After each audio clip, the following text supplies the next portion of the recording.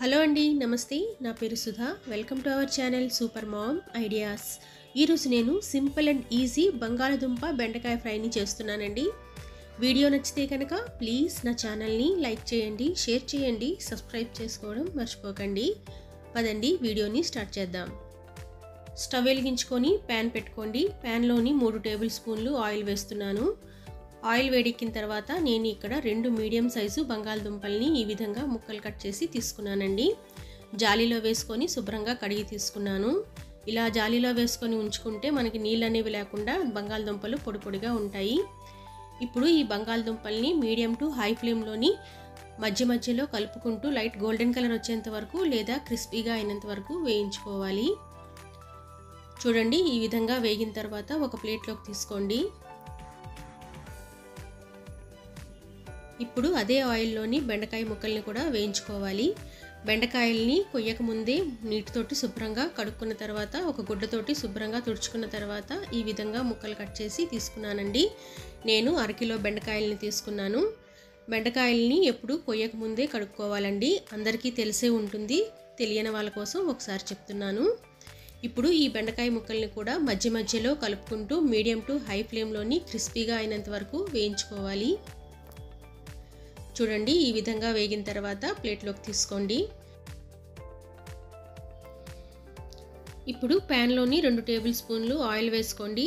Oil వేడెక్కిన తర్వాత tea spoon జీలకర్ర వేసుకొని చిటపటలాడిన తర్వాత ఒక మీడియం సైజు ఉల్లిపాయని నేను సన్నగా పొడుగ్గా కట్ చేసి వేసానండి టీ స్పూన్ అల్లం వెల్లుల్లి పేస్టు పావు టీ స్పూన్ పసుపు వేసుకొని ఒక రెండు నిమిషాలు అల్లం వెల్లుల్లి పేస్టు పచ్చివాసన పోయేంత వరకు ఉల్లిపాయలతోటి వేయించుకోవాలి. ఈ విధంగా వేగిన తర్వాత గ్యాస్ ఫ్లేమ్ని లోలో పెట్టుకొని డ్రై మసాలాలు వేసుకోండి. టీ స్పూన్ కారం హాఫ్ టీ స్పూన్ ధనియాల పొడి రుచికి సరిపడా ఉప్పు half teaspoon garam masala ముప్పావు టీ స్పూను చాట్ మసాలా వేస్తున్నానండి. చాట్ మసాలా ఆప్షనల్. చట్పటా టేస్ట్ రావడం కోసం నేను వేస్తున్నాను. మీకు నచ్చకపోతే స్కిప్ చేసేయండి. ఇప్పుడు ఈ మసాలాలన్నింటినీ మీడియం టు లో ఫ్లేమ్లోని ఈ ఉల్లిపాయలతోటి రెండు నిమిషాలు వేయించుకోవాలి. చూడండి ఈ విధంగా వేయించుకున్న తర్వాత మనం వేయించి పెట్టుకున్న బంగాళదుంప ముక్కల్ని బెండకాయ ముక్కల్ని వేస్తున్నాను.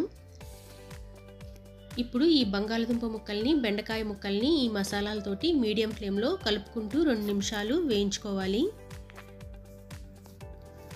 చూడండి ఈ విధంగా వేయించుకున్న తర్వాత సన్నగా తరిగిన కొత్తిమీర వేసుకొని ఒకసారి మళ్ళీ కలుపుకుంటే మనకి బంగాళదుంప బెండకాయ ఫ్రై అనేది రెడీ అయిపోయిందండి. సర్వింగ్ ప్లేట్లోకి తీసుకుందాం. చూసారు కదండి బంగాళదుంప బెండకాయ ఫ్రైని ఈజీగా సింపుల్గా ఎలా తయారు చేసుకున్నామో మీరు కూడా తప్పకుండా ట్రై చేయండి. మీ ఇంట్లో మామిడికాయ పప్పు టమాటో పప్పు పప్పుచారు ఇలాంటివి చేసుకునేటప్పుడు ఈ బంగాళదుంప బెండకాయ ఫ్రైని తప్పకుండా ట్రై చేయండి. కాంబినేషన్ అద్దరిపోతుందనమాట మీకు ఈ రెసిపీ నచ్చిందనే అనుకుంటున్నానండి. మీకు ఈ వీడియో నచ్చితే కనుక ప్లీజ్ నా ఛానల్ని లైక్ చేయండి షేర్ చేయండి సబ్స్క్రైబ్ చేసుకోవడం మర్చిపోకండి. ఇంకొక వీడియోతో మళ్ళీ కలుస్తాను ఉంటానండి. Thank you.